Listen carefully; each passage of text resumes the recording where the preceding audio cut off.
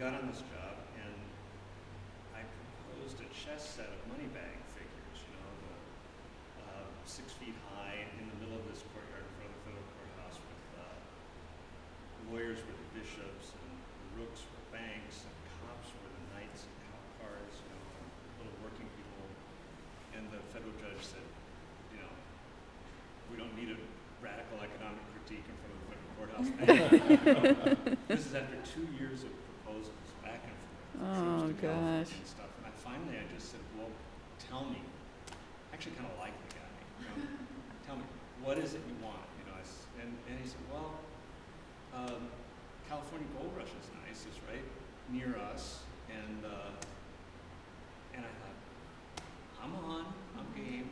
And, and that's where I went. And, and uh, so I had eagles on globes, and I had salmon with legs jumping in this fountain, uh, holding money bags, and uh, eagles eating the salmon, and this big bear came out of it. And, you know, it was very fruitful for me. Mhm. But it was, it's like a, a roll of the dice as to where I ended up. Uh, you know, I don't think I would have been there by myself. Um, But did some of your early ideas end up in then the, the series that we saw, like on Park Avenue, or, um, you know, with the, with the, the money and commerce, uh, theme?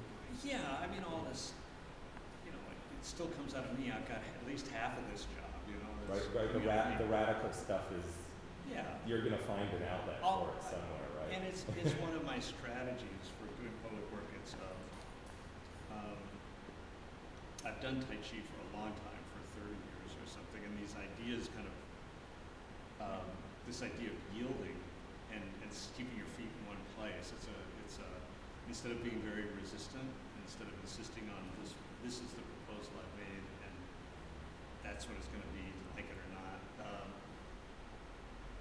I find that in the early stages of the public work, um, the artist has really not got much leverage. They'll just throw you out of there. And I, I think it's so valuable that it's, I try to yield to whatever they say and still end up, stay on the job no matter what it comes to, and end up putting something out there that's still going to bug them.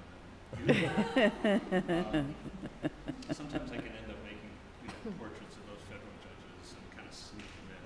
You know, I have, there are ways to get around this. That's one